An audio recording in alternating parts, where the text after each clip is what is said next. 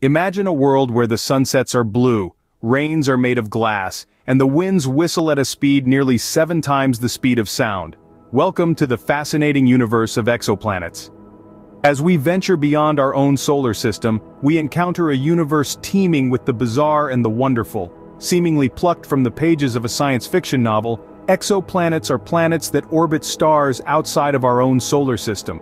Their existence challenges our understanding of planetary formation and composition, and they present an exciting frontier in the quest for extraterrestrial life. The diversity of these celestial bodies is truly staggering. From gas giants that dwarf Jupiter to rocky planets only a smidge larger than Earth, the exoplanets we've discovered so far are as varied as they are numerous. And when we say numerous, we mean it. The tally stands at over 4,000 and counting, each new discovery adds another piece to the cosmic jigsaw puzzle, helping us to understand the universe and our place within it. A significant contributor to these discoveries is the Kepler Space Telescope. Launched in 2009, Kepler's mission was to search for Earth-like planets orbiting other stars in our galaxy. Rather than scanning the entire sky, Kepler focused on a small patch, observing over 150,000 stars simultaneously. In its nine-year mission Kepler discovered over 2,000 exoplanets many of which could potentially support life. From worlds where it rains rubies and sapphires to planets that orbit not one but two stars, Kepler has revealed a universe more diverse and fascinating than we could ever have imagined.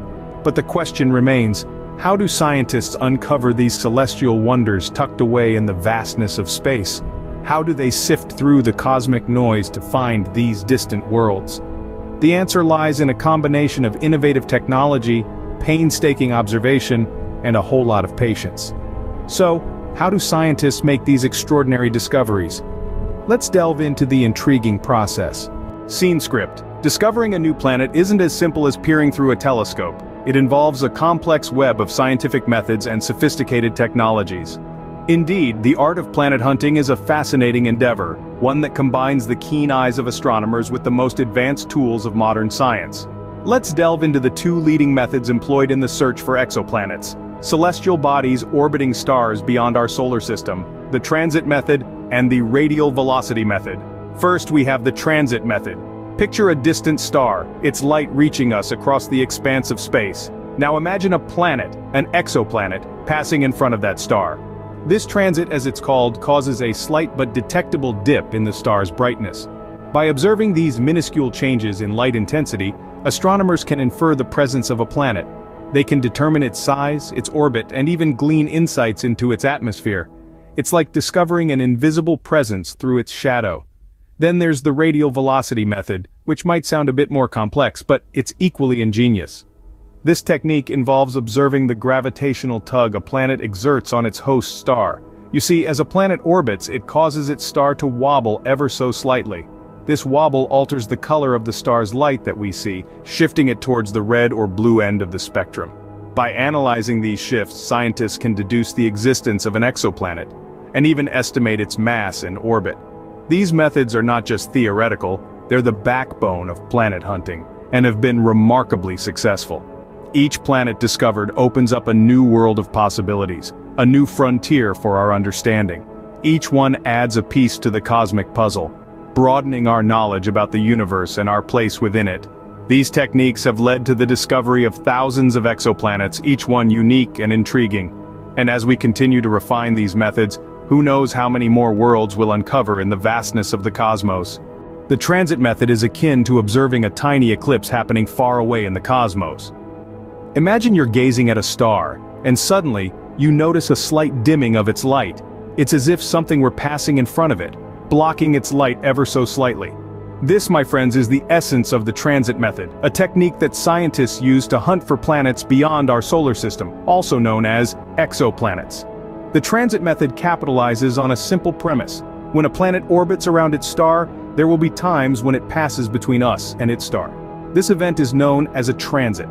As the planet transits, it slightly reduces the star's apparent brightness, creating a small, temporary dip in the light we receive. By observing these minuscule changes in a star's light, scientists can detect the presence of a planet.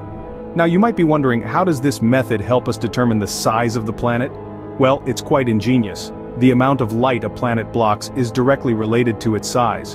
A larger planet will block more light, causing a deeper dip in the star's brightness, while a smaller planet will block less light, causing a shallower dip. By measuring the depth of these dips we can estimate the planet's size. Of course this method isn't without its limitations. For instance, we can only detect planets that orbit in such a way that they pass between their star and us. Moreover, the method requires precision and patience, as it necessitates observing the star's light over extended periods. Despite these challenges, the transit method has been a game changer in the field of exoplanet discovery. It's through this method that we have discovered thousands of exoplanets providing us with invaluable insights into our universe and our place within it. This method has proved to be remarkably effective, but it's not the only tool in our planet-hunting arsenal. The radial velocity method, on the other hand, is all about the dance of stars and planets. Imagine a waltz, where stars and planets are the performers. They move in rhythm, each affecting the other's movement. This cosmic dance is what the radial velocity method leverages to detect exoplanets. In this method we don't watch the planet directly. Instead we observe the star it orbits. You see as planets orbit stars they exert a gravitational pull that causes the star to wobble ever so slightly. This wobble, although minuscule, can be detected from Earth. To understand this, think of a dog running around its human during a walk. The human, while appearing to walk in a straight line, actually moves in a small circle, responding to the pull of the dog's leash. Similarly, a star, under the gravitational pull of an orbiting planet, moves in a small circle or ellipse. The key to the radial velocity method is the Doppler effect. This phenomenon, which you've probably noticed when an ambulance passes by with its siren blaring, affects light just as it does sound. When a star moves towards us, its light waves are compressed, making them appear bluer. When it moves away, the light waves stretch, making them appear redder. By analyzing these shifts in color or spectroscopic shifts, scientists can measure the star's wobble. The beauty of the radial velocity method is that it provides us with more than just the presence of a planet, it also helps determine the mass of the planet. By measuring the size of the star's wobble, we can infer the mass of the planet causing it. The larger the wobble, the greater the planet's mass. In this manner, the radial velocity method allows us to not only find exoplanets but also to begin understanding their properties. It's like getting to know someone's dance moves before you ever see their face. Using these methods, astrophysicists are not just finding new planets but also learning more about their nature and composition. The universe is vast, and our journey of discovery has just begun.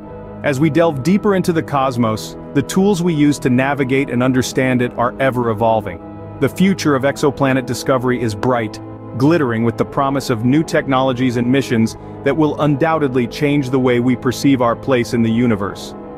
In the coming years we can expect a host of new missions dedicated to exoplanet discovery.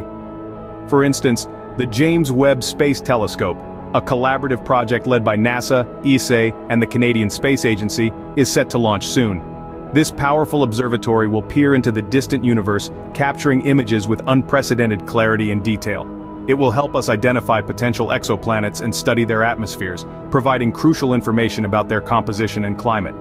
Moreover, the development of new technologies will revolutionize how we search for and study exoplanets. Advancements in artificial intelligence and machine learning are already being employed to sift through the vast amounts of data collected by space telescopes, identifying potential exoplanets more efficiently than ever before.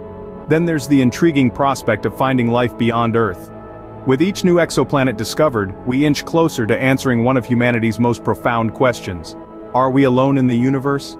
As we develop more sophisticated tools to study these distant worlds, we increase our chances of detecting signs of life, whether it be microbial or more complex. The future of exoplanet discovery is not just about finding new planets but about deepening our understanding of the universe and our place in it. It's about pushing the boundaries of human knowledge and ability, opening up new frontiers of exploration, and daring to ask questions that challenge our perceptions of reality as we continue to explore the cosmos who knows what fascinating worlds we'll uncover next. The universe is full of surprises waiting to be discovered.